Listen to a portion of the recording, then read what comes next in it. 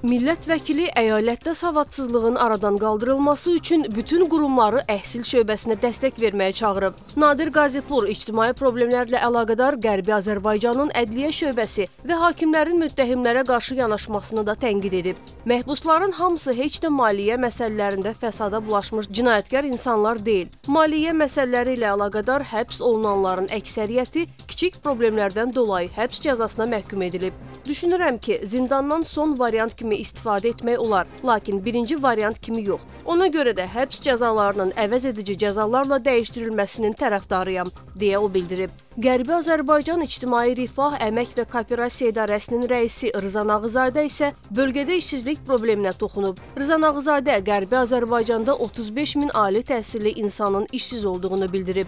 Əyalətdə ən azı 120 min işsiz var. Ölkə üzrə işsizlərin üçdə birini ali təhsilli insanlar təşkil edir. Qərbi Azərbaycana gəlincə isə ali təhsilli işsiz insanların sayı 35 min nəfərdən ibarətdir, deyə o qeyd edib. Onun sözlərinə görə Qərbi Azərbaycanda 17065 nəfər kəndli daimi işlə təmin olmaq üçün müraciət edib və qeydiyyata alınıb. Onlardan yalnız 1096 nəfər işlə təmin olunub.